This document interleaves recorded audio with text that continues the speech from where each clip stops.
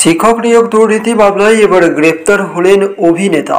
সিবিআইয়ের জালে তৃণমূলের নেতা অভিনেতা।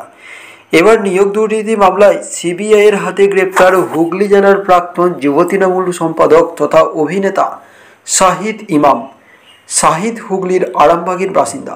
জানা গিয়েছে, নিয়োগ দুর্নীতি মামলায় গ্রেপ্তার হওয়া শাহিদ শ্লীলতাহানি আবার চ্যালেঞ্জ বিষাক্ত মানুষ নামে বেশ কিছু সিনেমার অভিনয় করেছেন।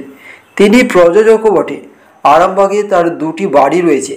চাকরির প্রতিশ্রুতি দিয়ে বহু প্রার্থীর কাছ থেকে টাকা তোলার অভিযোগ উঠেছে তার বিরুদ্ধে। এমনকি অভিযোগ উঠেছে সেই টাকা সিনেমায় ব্যবহার করে থাকতে পারেন তিনি।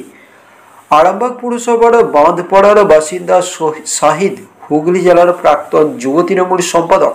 তার বাবা হাসান ইমাম পেশায় স্কুল শিক্ষক। দুই হাজার এগারো সালে আরামবাগ বিধানসভায় তৃণমূলের প্রার্থী হয়েছিলেন তিনি। পরে জাতীয় কংগ্রেসের হয়ে লোকসভার প্রার্থী হন।